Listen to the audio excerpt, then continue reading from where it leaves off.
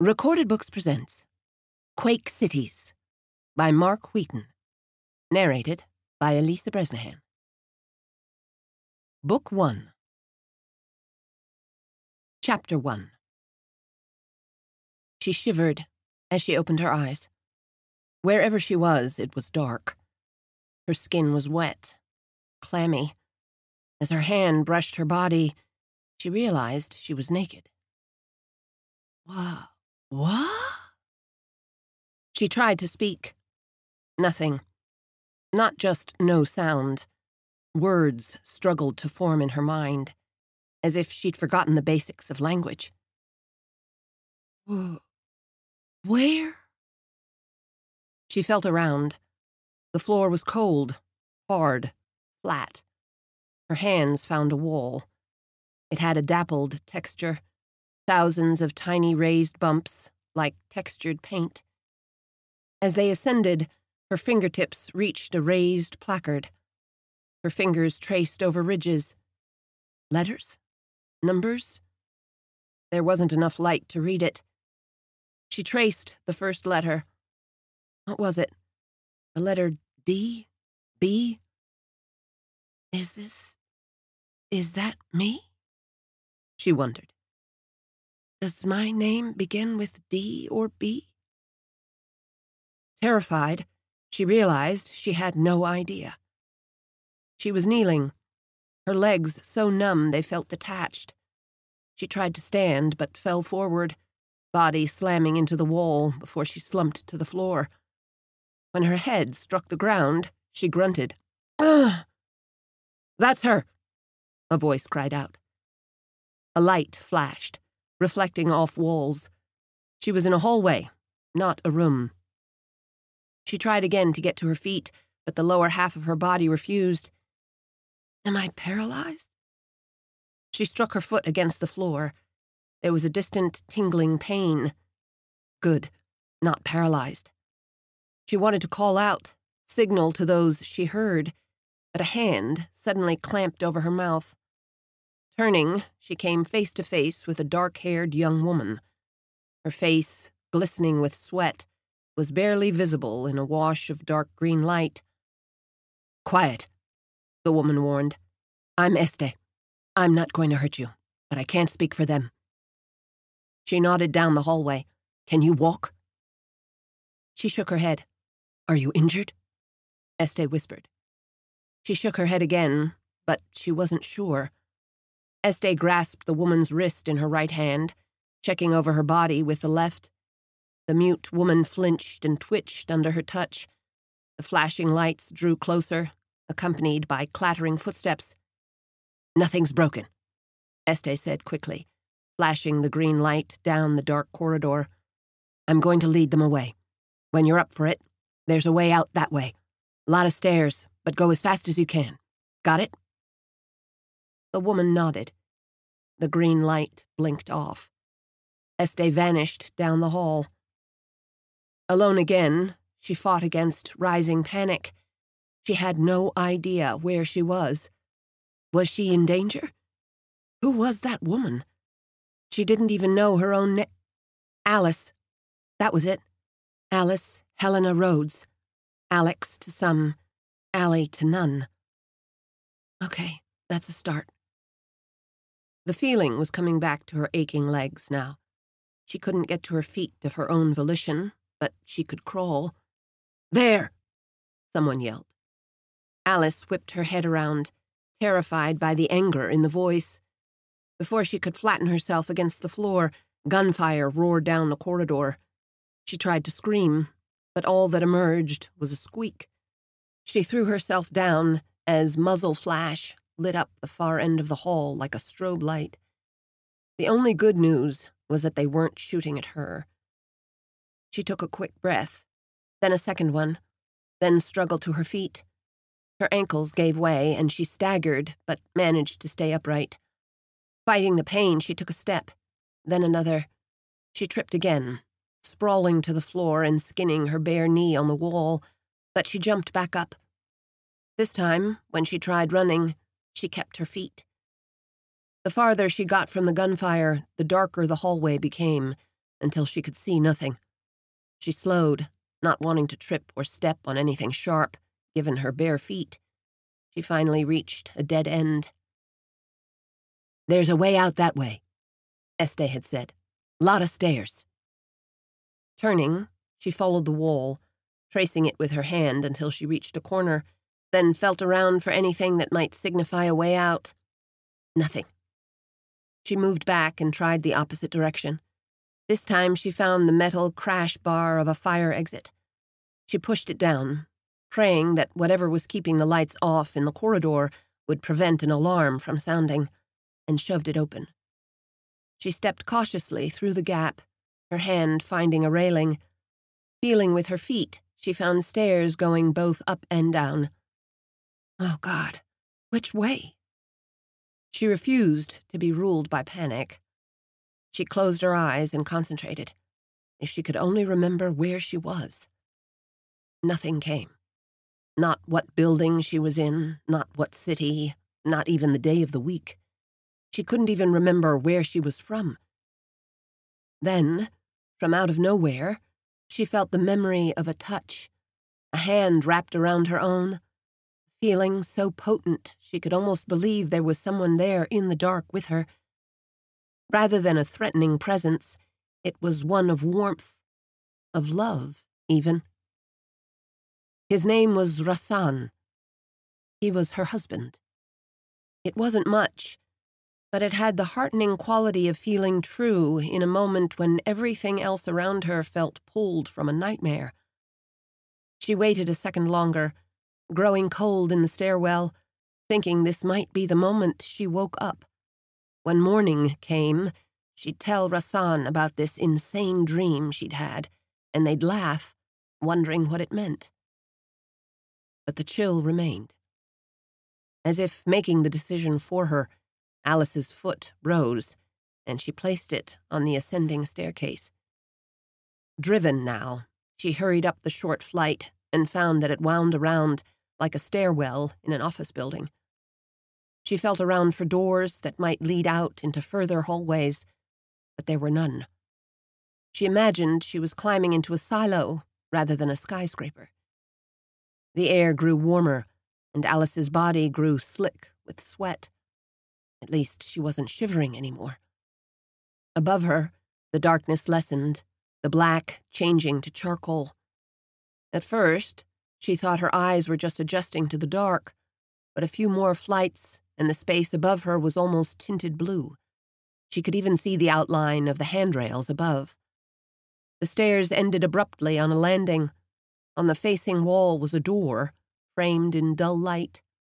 Alice opened it, and sunlight streamed in.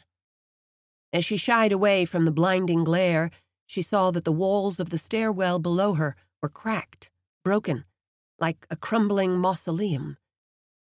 She hurried out into the light, fearing she'd find herself on a rooftop. It was another corridor, like the stairwell, the floor, Walls and ceiling were riven with cracks. She could see her own body now, her bare legs and arms. They bore a few scratches from where she'd run into the walls, but no serious damage. In the back of her mind, she feared she'd been attacked, maybe hit on the head. That would explain her missing clothes and her missing memory. But this didn't seem to be the case. The nearer she got to the light, however, the more damaged her surroundings became. The hallway opened into a small lobby containing a security desk, a bank of elevators, and a glass enclosed waiting room. Only the glass was shattered. The ceiling inside the waiting room slumped onto the furniture, which was covered in dust and debris. The elevator doors were bent out of their frames. What in God's name? Had there been a fire? Had the building crumbled on its own? She reached the exit, double doors now lying in a shattered mess of glass pebbles, and carefully picked her way across it. The light outside was so bright she had to cover her eyes again. As she did, she was struck by the silence. No people, no traffic, nothing. which made it an even greater surprise when she finally opened her eyes and found herself on the sidewalk of a wide boulevard in some major metropolis. Only, there were no buildings here, no cars, no telephone or electrical poles. At least, none that were upright. Instead, as far as her eyes could see, were piles of shattered concrete, twisted metal, broken glass. Utility poles were cracked in half as if leveled by the strike of a great axe. Wires trailed in every direction like snakes sunning themselves in the warmth. Trash was strewn everywhere, veritable forests worth of paper dropped haphazardly through the streets. A handful of vehicles dotted the street, but they were few and far between, all covered in a fine gray dust like pulverized cement. It reminded her of a demolition site, a building dynamited to make way for new construction, only in this case, an entire city appeared to have been leveled. She stepped into the street, believing if she peered far enough, she might see the end of the destruction some demarcation line between the obliteration and something whole, something that had survived. The devastation reached the horizon. Chapter 2 Este leaned against the cracked sewer wall to catch her breath. She hadn't run that far or that fast since, what, high school gym class? From the bus stop to her front door to make curfew before her mom called out the National Guard. Not just a figure of speech, given that her mom was a retired Army captain. And for a steader, Este exclaimed quietly, incredulously, to herself. You almost got yourself killed over a steader? Of course, this wasn't true.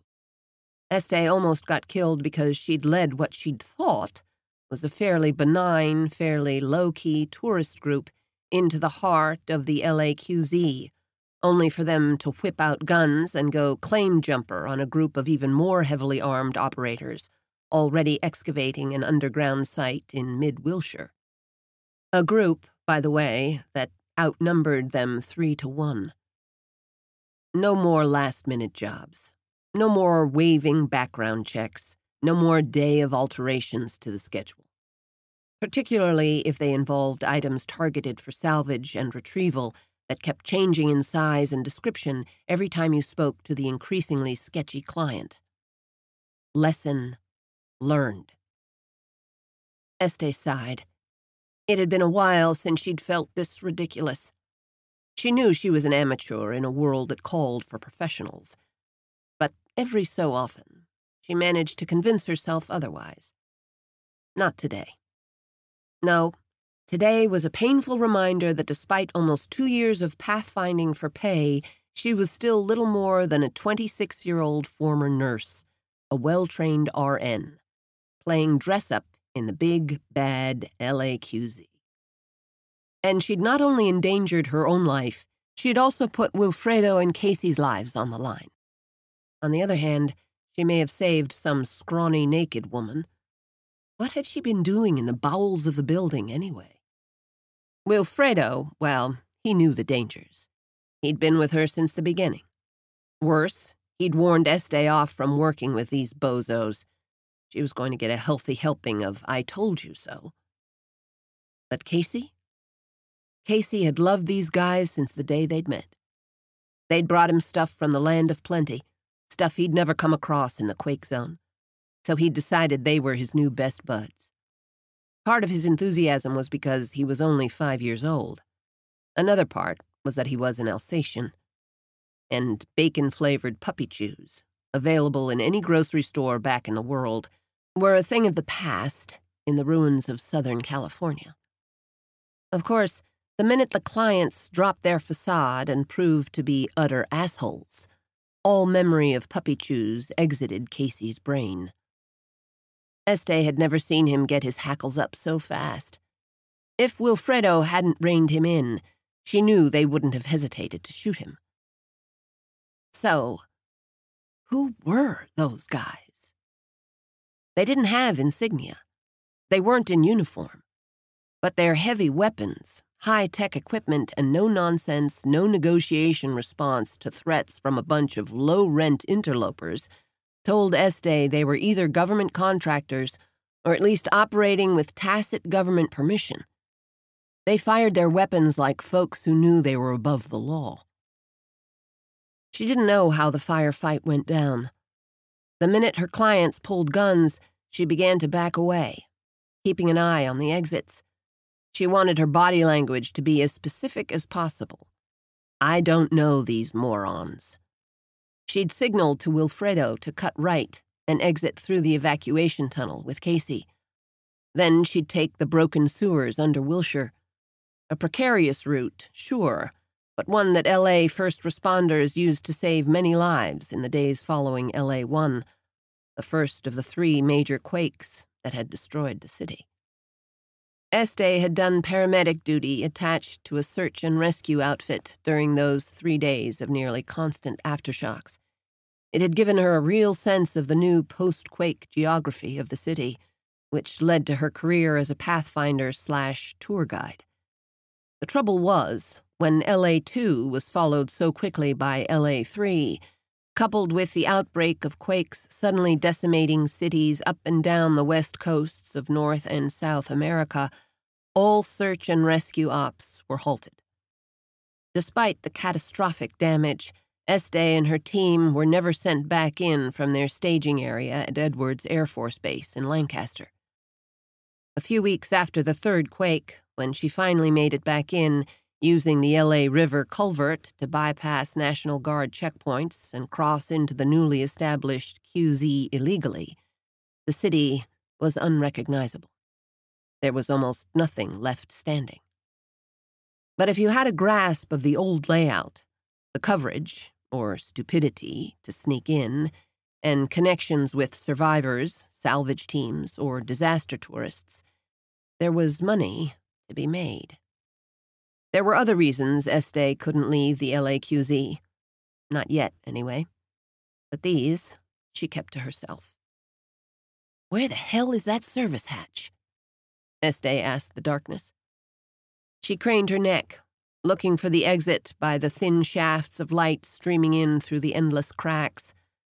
The light came in mostly at haphazard angles, like the lightning design of an avant garde, read pretentious, art installation, the kind Este's sister Ines used to drag her to.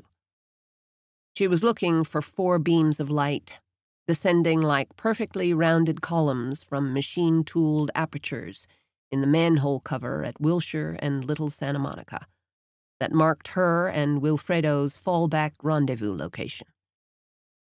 She idly wondered if the Steader had gotten out. Steader, short for homesteader, was the name everyone used for the survivalist, prepping for the apocalypse types who had moved to the wholly unlivable inn and extremely dangerous QZs to live off the grid. Este figured the Steader had gone into the sub-level offices looking for food or shelter. But all that was down there was the empty canister it seemed Este's own clients had come to the LAQZ to find.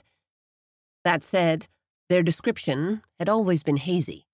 At one point, they'd said it was a pressurized metal box about 20 inches by 12. At another, that it was a series of three syringe type devices kept together in a pack. On the day they arrived, however, they'd had a new story. It's like a large metal test tube, the group's spokesman told her, but heavy, with a cap. The only identifiers on it are a barcode and an 18 character alphanumeric string. Cool? When they'd arrived in the subterranean complex, finding room after room in utter disarray, she didn't think they'd find anything like that.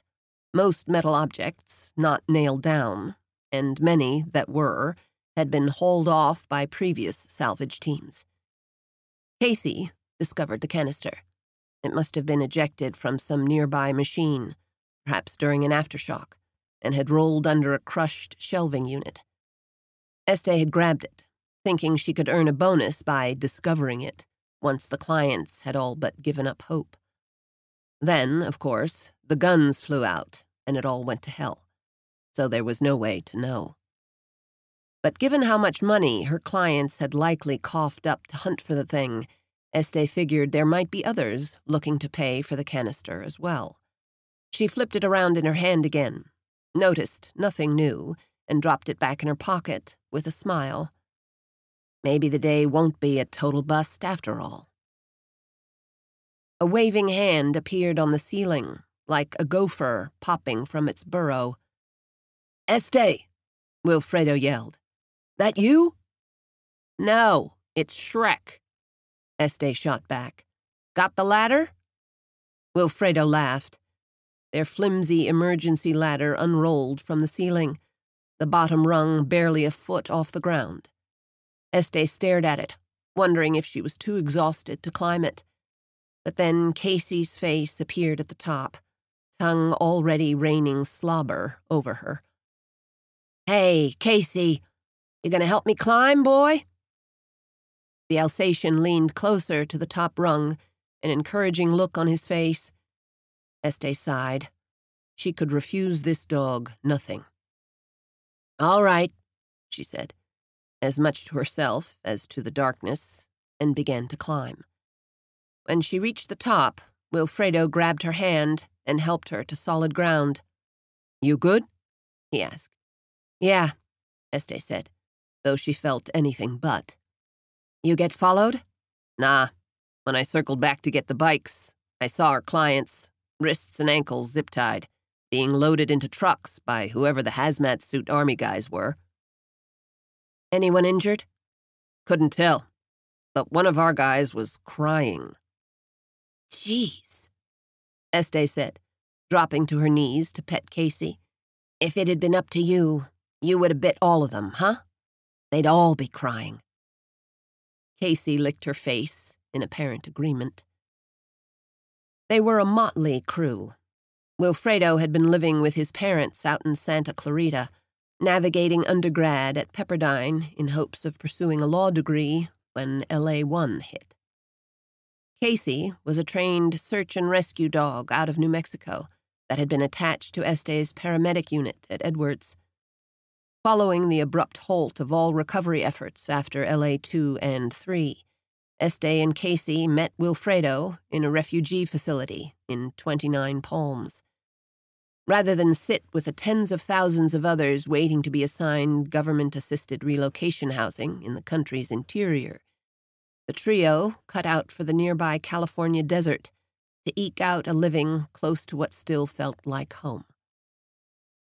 Este had known then what she still knew now. She wasn't ready to leave yet, to feel like a pitied outsider in her own country. The quakes brought down LA, San Diego, Tijuana, San Francisco, and Seattle, to say nothing of the ones in Vancouver, Havana, Edmonton, and Winnipeg, and mass migration followed. When the refugee housing issue became an international crisis, they knew they'd made the right call. It was Wilfredo who'd first heard of salvage ops, making money on items recovered from the QZs, and suggested they try it out. As they headed to their motorbikes, an old Kawasaki KX 450 dirt bike for Este, an ancient U.S. Army Harley Davidson with an all terrain sidecar for Wilfredo and Casey. Este pulled the canister from her pocket. Can you check the boards later? Maybe see if this is worth anything? Wilfredo looked it over skeptically. You think it's anthrax or something? Our clients kept changing their story, as if they had no idea what they were really looking for. But the operators on site were suited up like they expected chemical warfare. Nah, Este said. They probably just know how much toxic crap got trapped underground out there. Besides, if it was anthrax, that Steader would have been a corpse. True, Wilfredo said. Think we've got enough light to make Victorville? Este eyed the sky. Let's do the blue house, in case anyone's keeping an eye on the exit points. Wilfredo nodded and handed the canister back. Come on, boy, he told Casey, leading the Alsatian to the sidecar. But Casey stood stock still, nose angled to the northwest, eyes on the horizon. Este, Wilfredo said. Este tensed, knowing what was coming next. Chapter 3 Alice closed her eyes, opened them, closed them, and opened them a second time. The obliterated cityscape was still there. She thought that as her eyes adjusted to the bright sunlight, she'd finally see signs of life, or at least signs of something intact, in the distance. Instead, it remained the same horrible, endless ruination. She took a deep breath and remembered her pursuers below. Still naked, she felt utterly exposed on the empty city streets. She had to find clothes and shelter. Her lack of memory meant she had no idea which way the gunmen would expect her to go. Left? Right? Straight ahead? Maybe head north, then double back and pick a new direction? For that, though, she'd have to know which way was north. There were no familiar landmarks, only a ring of distant hills wrapping around the basin like a wide half crescent. She went left. The rubble was even higher down that way, so in case of trouble, she could duck low and hide. Just when she was thinking herself clever, she looked back and saw a trail of blood, drops interspersed with near perfect outlines of her feet. Bloody footprints. Good one, Alice. Knowing she wasn't going to like what she found, she checked the soles of her feet. Bits of rock and tiny pieces of glass. She'd been in pain, but had convinced herself it was just minor cuts and abrasions from the torn up road she walked more carefully now, planting her left foot on its side, but it did little to limit the damage. She looked around for something to wrap her feet in, preferably something soft, but found nothing. To make matters worse, she could already feel her bare skin burning. Fair skinned since birth, she had always considered the sun something of an enemy. She could usually handle it with some sunscreen and a hat, being naked added a brutal new dimension. She kept moving. As the adrenaline rush of her escape receded, her thoughts focused on two questions what had happened to her, and what had happened to this city? She feared the answer to the first one. The most obvious reason one might awake naked and disoriented would be that she'd been attacked but though she was injured, she didn't feel as if she'd been violated in any way. Still, this was something she would revisit once she was in a safer location. As for what had happened to the city, she had no idea.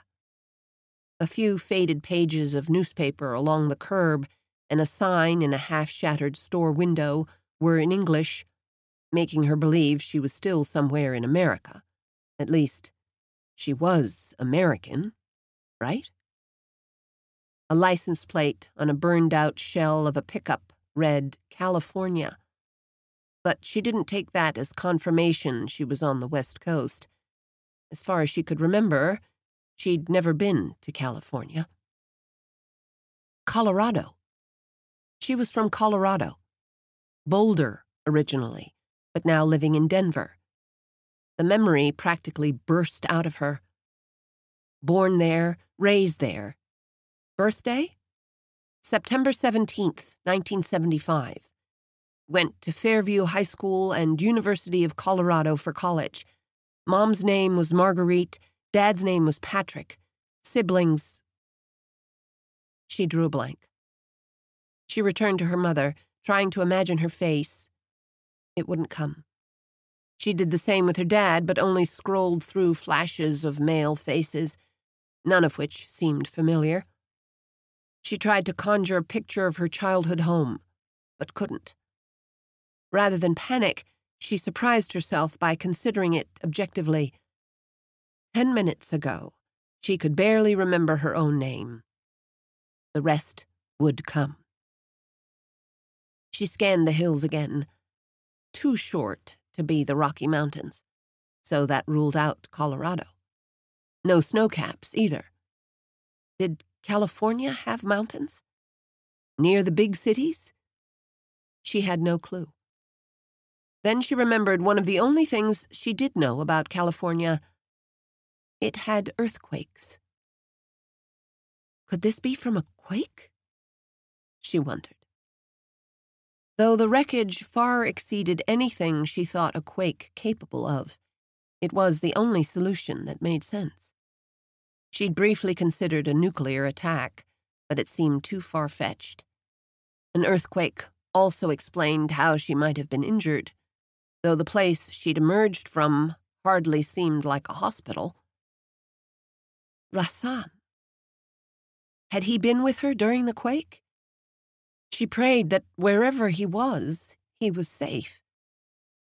She had to find him. Coming to a half destroyed row of shops, she hurried across the burning pavement. The first was a restaurant, possibly Korean. She wasn't hungry, but she knew she wouldn't last long in the heat without water. She searched the restaurant's mostly intact dining room, but found nothing. The kitchen was completely demolished. She couldn't even enter it. The next store over seemed to have sold electronics. No water there. The third, however, was some sort of athletic supply shop. Alice exhaled in relief. The shop's floor was covered in broken glass. She hauled a table over from the Korean restaurant, placed it face down, and shoved it into the athletic store. It crunched down onto the glass, providing her with a tiny island from which to work. The store owners had kept their inventory in an attic over the sales floor. Helpfully, the ceiling had collapsed, so hundreds of boxes of shoes had come down in a great pile. Though many boxes were empty and several more were waterlogged, the result of rain or a broken pipe, Alice managed to find a few pairs intact. Sitting cross legged on the table, she carefully picked the slivers of glass and stone from her feet. She couldn't remember her shoe size, so had to try on a few pairs until she decided on an eight and a half. When she searched her memory to see if that matched, nothing came back. Feet now protected, she picked her way to the back of the shop, where she'd spied bags of socks and racks of clothes. Instead of the sweatpants and t shirts she'd expected, she found rack after rack of outfits made from the stretchy synthetic material that she associated with bicycle shorts. A package containing a sports bra stated it was made from a revolutionary synthetic, moisture wicking fabric. When in California, she mused, slipping it and the other clothes on. The store's checkout counter was beside her, now crushed to the ground. The register and display case were in pieces, but several stickers LA Bike Club, Southern California Road Racers, Club de Bicicletas de Los Angeles were still visible on the broken glass. Los Angeles, Alice realized. I'm in Los Angeles. Movement caught her eye. She ducked down only to see a couple of telephone lines outside over the street slowly swaying back and forth, a lazy jump rope, ready for someone to jump in. Then came a low, thunderous rumble, roaring up the broken street like an invisible train. Beneath her feet, the ground began to shake. Earthquake. Chapter 4 probably because she grew up in the extremely urban environments, first of Houston's Third Ward, and then Angelino Heights, Los Angeles. Este and her sister had always loved hearing about how animals had a greater inherent understanding of the natural world than humans did. Like how Irish villagers could predict the severity of incoming weather based on how high up the nearby hills their sheep were grazing. Or how residents of Victoria, British Columbia, knew what the day's temperature would be based on the number of turtles basking on a specific log in a particular lake near the center of town. Or how rural Chinese rice growers would wait until the exact moment the region's swallows returned after winter to plant, as it was a better yardstick of the season's coming rainfall than any other metric. So, it wasn't so much a surprise as a delight to Este to learn that dogs picked up the so called P waves, primary waves, given off by an earthquake in advance of the S, or secondary waves, that contained the devastating energy capable of laying a city low. Though a few paramedics told her that was an urban legend, when an earthquake was in the offing, Casey knew. Sometimes it was a few seconds in advance, sometimes a few minutes. Each time, his alarmed response was so specific, Este could tell it apart from any of his other barks. What he couldn't predict was the severity of the coming jolt. So whenever Casey went off, she and Wilfredo prepared for the worst. Luckily, they were in a wide open section of the city. Este grabbed Casey's collar and hauled him to the other side of the block. Lie down, she ordered. Wilfredo took a seat next to them as the roar of the coming quake Really, the sound of already near pulverized buildings jostling around like boulders on a concrete billiard table reached their ears. Este felt Wilfredo's hand grip hers, not with urgency or some misplaced sense of romantic fatalism. More a reminder that they were in this together. She liked that. Great plumes of concrete dust rose from the surrounding wasteland, towering up to block the sky. Este managed to get a bandana around Casey's nose and mouth before the cloud reached the dog, but it swept over her tongue and into her own lungs. It tasted of iron shavings, stone, and the sickly sweet residue of long dormant chemicals and plastics. Gah, she grunted. Reaching for her satchel to extract a dust mask and goggles, only for Wilfredo to hand ones over to her from his own pack. Casey tried to shake the bandana off, but Este held it in place, keeping the toxic airborne brew from his lungs. It's not gonna be a short one, she figured. Her eyes burned from the chemicals, and when she pulled her mask down, the fetid air seemed to be trapped even closer to her eyes.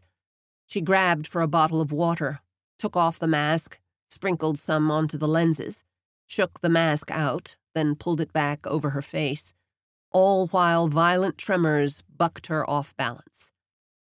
She'd grown so accustomed to this feeling the need to constantly bend, twist, and redistribute her weight in response to a quake that she thought she'd do okay on the rodeo circuit at this point. In a few moments, the quake was over. They waited a few more seconds, then Wilfredo leaned in close, voice muffled by his mask. What was that? A MAG 5.5? A 6.0? A 5.3, Este said, stroking Casey's back like someone else might do with prayer beads. Wilfredo nodded. Este was never off by more than 0.1 or so these days. There was a new rumbling, this time from the east. Casey's ears pricked up, but he didn't bark. Here we go again, Wilfredo said. But as Este stared at the Alsatian, she saw something different in his eyes. Gotta find cover, Este said, tapping Wilfredo's shoulder. There wasn't enough time to descend back into the sewer, so Este led them to the mouth of a collapsed parking garage a hundred feet up a side street. Though the garage had fallen in on itself, the recessed entrance still stood. Even better, anyone just inside would be obscured by shadows, but would still have a clear view of Wilshire. They'd only just reached it when the first of three helicopters, Sikorsky King Stallions, with the rear ramps down, soared past overhead, bearing west. On the main road, a convoy of all terrain cargo trucks, massive tires taller than any person, rolled over the debris strewn streets like it was a bed of silk. Like the helicopters, the trucks were standard five ton, six by six military vehicles downgraded for civilian use. In the back of one of them, Este saw, to her amusement, the clients, now prisoners, looking glum. In the last two trucks, she could make out racks and racks of canisters, the same as the one she'd found. Confirmation that this team was after the same thing that the clients were. She took the canister out of her pocket again, turning it over to see if there was anything she'd missed. A private operation like that, complete with air support, was easily in the $10 million range. She divided that by a rough estimate of the number of canisters and came back with a cost per item in the high five figures. Very high. When they realized they were missing one, she wondered if she could barter them up to double if she guaranteed delivery. Nah, she thought. Let's say triple.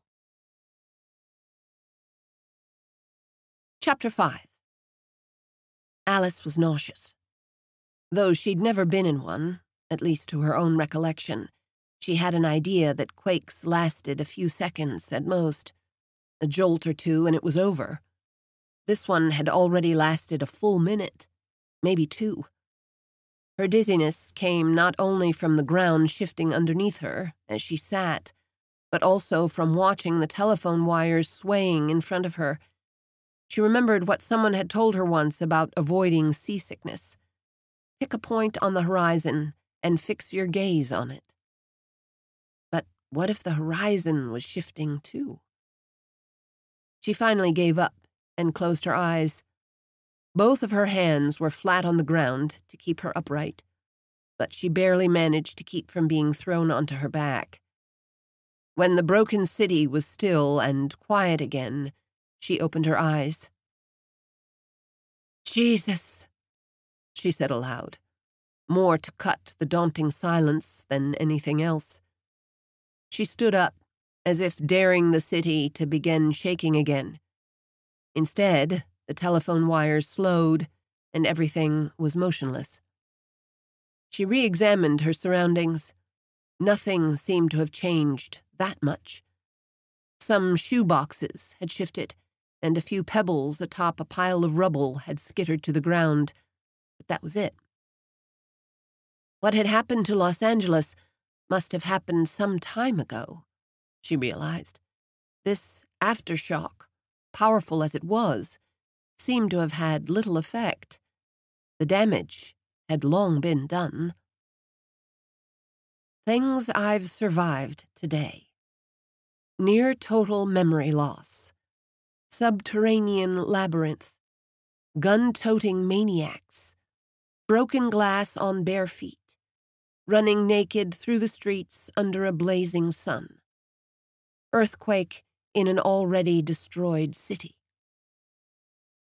All she needed now were snakes, locusts, and a hurricane, and she'd feel owed a prize. Alice heard the helicopters before she saw them but instinctively ducked back into the shop. When they came into view, big, hulking military type transports, she knew she'd made the right decision.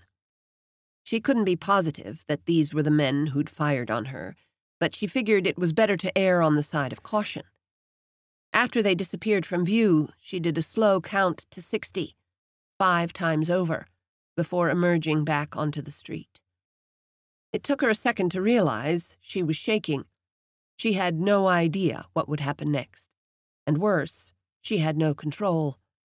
She needed to get back to her life, the one that made sense. She had to find her family. It was so overwhelming. She pushed back tears, fearing she wouldn't be able to stop crying once she started. She returned to the feeling of Rasan's hand enveloping hers, hoping to find calm. To her amazement, it worked, at least a little. She pictured his face again, letting the emotions roll through her. She wanted the memory to lead elsewhere, where she was when she last saw him, what they had talked about. But nothing came. Alice began to walk. She didn't have a destination, but spied what looked like a trail going up one of the hills. If she could reach it, she could get a bird's eye view of the city, as well as what was on the other side. Did Los Angeles end at the hills, or keep going? She couldn't remember, but wasn't sure she'd ever known anyway. As she walked through the rubble strewn street, she considered her pursuers. Sure, they were shooting, but how did she know they were after her? She'd taken the word of a stranger that she had to get away from them. What if they were the ones who could help her? To her best knowledge, she'd never been arrested, maybe gotten a single parking ticket in her life, and always renewed her license, registration, and passport well before their expiration dates. The idea that she was some kind of wanted fugitive was absurd. So why was she acting like one? Another memory returned to her, this one of putting her registration sticker on her car, her first car. It had been a used blue Honda Accord that her father had bought off a neighbor. This led to a memory of her first new car, a silver 1998 Volkswagen Jetta. She saw it parked in front of an apartment complex. Her home. Their home. The place she and Rasan had moved into after graduation. The street name? Timber something. Timberline? Timber Pines? Timber Oaks? That was almost it. Oh, wait. Timber Oaks Place. The elation of more memories made her so dizzy she almost tripped over a curb. She had a destination now, an address in Colorado. She could find her way home. Broken houses and apartment buildings, rather than office towers, now lined either side of the road. There was something else different about them. They were marked with some kind of cryptic code in bright orange spray paint. An X with numbers in the top and bottom sections and letters on either side. Written in the top pie piece was 5924. No ands on the right, 2D on the bottom, and 79 inf on the left. She had no idea what any of it stood for, but saw variations of it painted on building after building some repeating the 79 imph or no ands, others with 40 imph or 7d. The only thing she could work out was no answer. A few more blocks, and the streets, sidewalks, and crumbled buildings were scorched black, as if from a great fire. This made sense. If there were no more emergency services, any fire that took hold would burn out of control. The hills had burned too. A few bushes and tufts of grass had returned, but the only other sign of life was the handful of blackened, skeletal tree trunks poking up from the dark soil. Alice reached a trailhead at the top of a steep road. The trail was paved, easing her ascent. She was halfway up before realizing again she had no water or food. Not that she was hungry, but she hadn't been diligent about looking for anything along the way. If she'd been trekking through a desert or on some island, her survival instincts might have kicked in. Because she was in a city, however decimated, her mind probably took it for granted that she could pop into the nearest convenience store. She looked back over the city stretching out from the hills to the ocean, every corner of Los Angeles had been destroyed. Every building and every bridge. LA more resembled a rocky beach than a major metropolis, an endless sea of stones that had once stood to serve a populace no longer there. The number of victims must have been incalculably high. The trail finally ended at a road, street sign dangling from a nearby post, marking it as Mulholland Drive. She crossed and looked over the other side.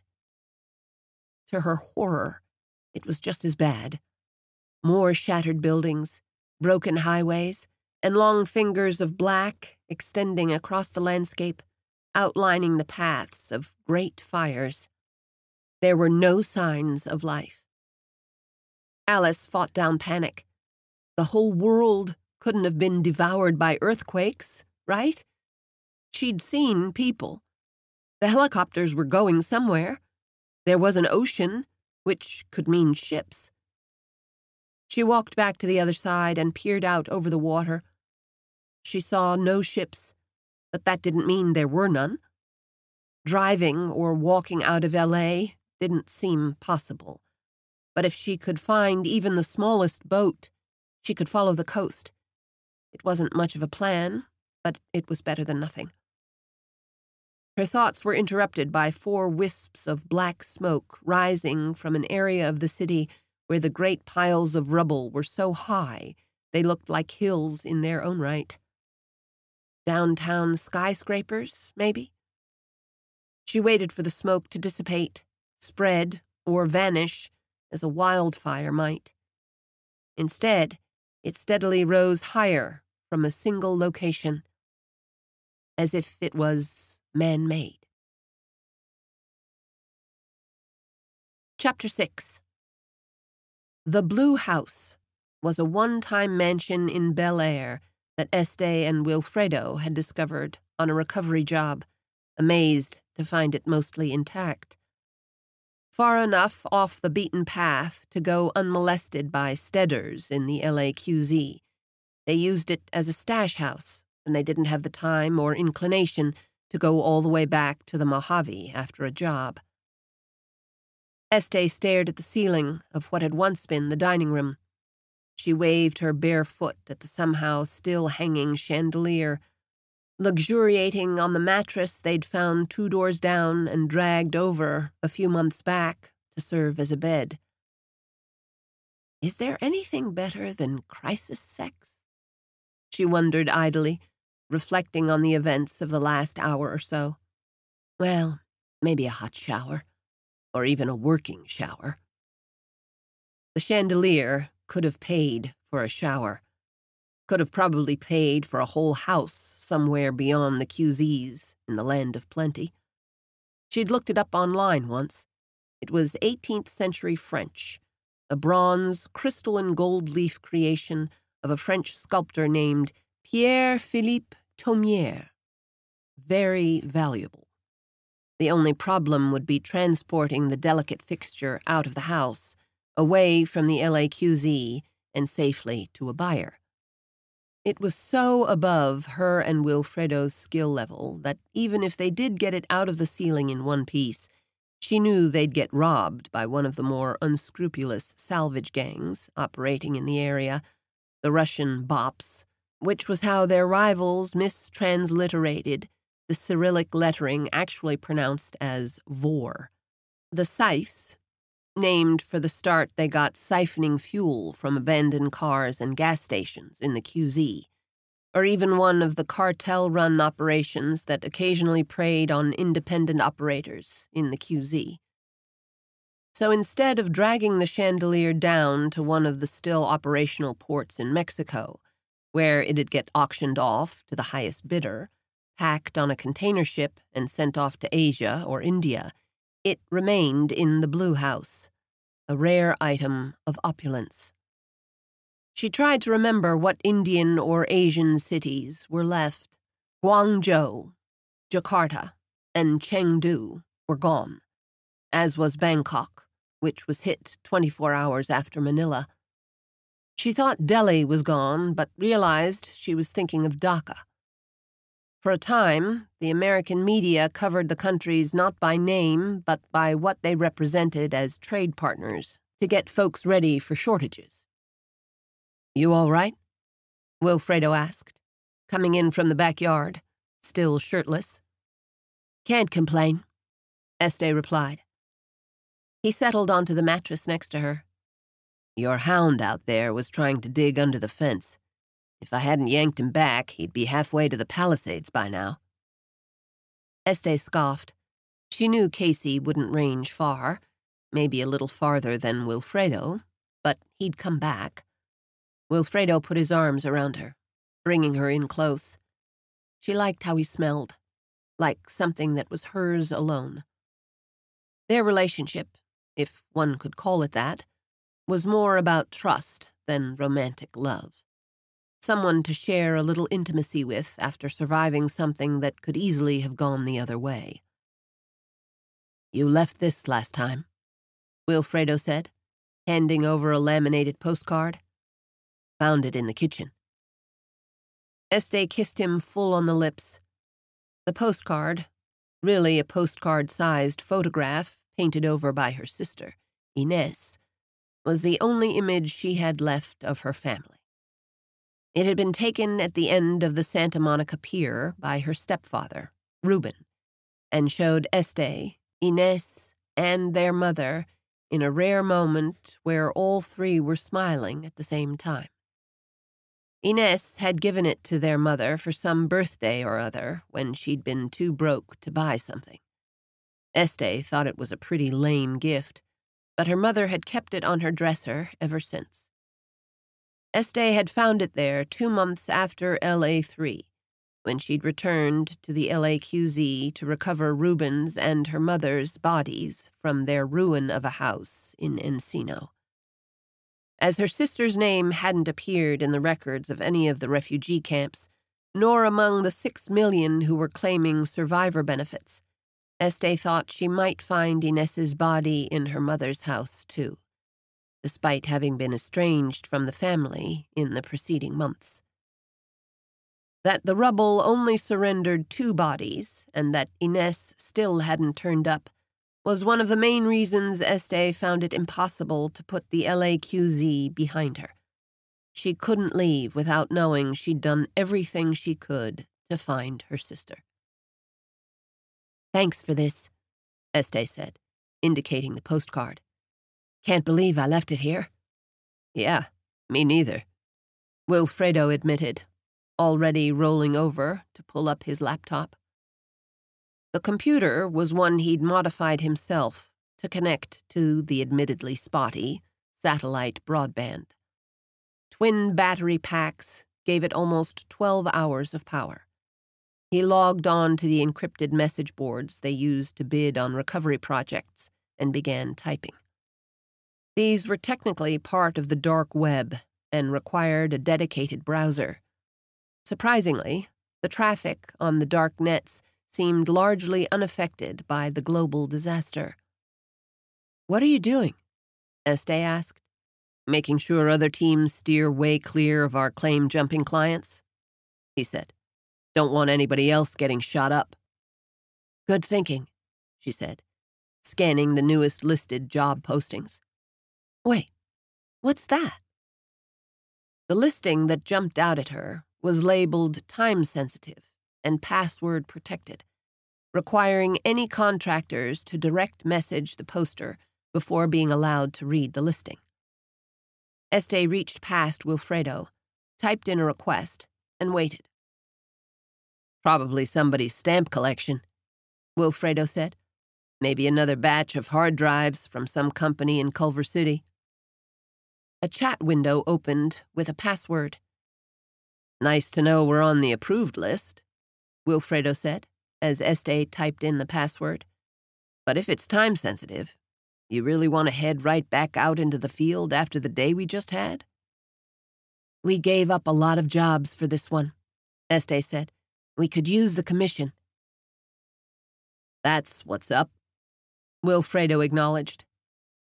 The post had all kind of warnings, disclaimers, and legalese. Este had seen stuff like this before, generally when a client wanted to insulate themselves from a potentially dangerous job. But the more Este read, the more the post seemed to indicate the item to be recovered was hazardous, toxic even, and should be approached with care. Holy cow! Wilfredo exclaimed, indicating a sidebar. Look at the bounty! Este did. Then she looked at it a second time to be sure her eyes weren't lying. The contract was for a one time payout of $1 million. That's insane, Wilfredo said. They looking for someone to liberate a nuclear warhead or something? Este's mind raced. She glanced to her clothes, still piled in the corner of the room. A million dollars? Hazardous materials? Take precautions? All kinds of secrecy? Could this be for the canister? She quickly scrolled to the bottom of the page. A graphic of the recovery item appeared next to yet another warning. Este's eyes went wide. Whoa, said Wilfredo. What's that about? The image on screen wasn't of the canister, but of the woman Este had seen in the underground labyrinth. A person was the million dollar target. Chapter 7 Alice spied water as she descended the trail. In the center of a ruin. We hope you enjoyed this preview. To continue listening to this audiobook on Google Play Books, use the link in the video description.